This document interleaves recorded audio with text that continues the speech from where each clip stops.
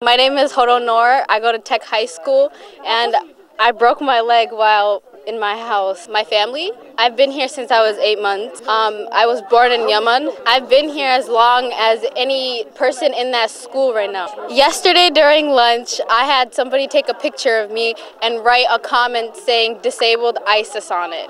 It was not asked for. I nobody asked to take a picture of me. It's very rude. And when when the guy was confronted, he played it off like he didn't do anything at all. Yeah, after after the incident, I went in to write up the boy that did it to me, and tell this tell now nothing has been done about it at all.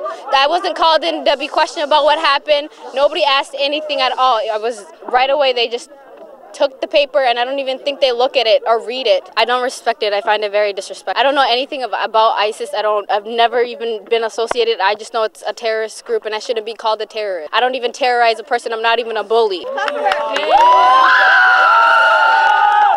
They, the media targets the Muslim people. I've seen, I've seen videos and photos where people are disrespecting our Nabi, are talking about our religion and what we pray to or how we do different things.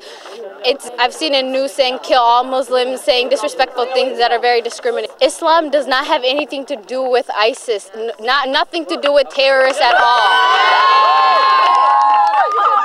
We're against ISIS and any terror group.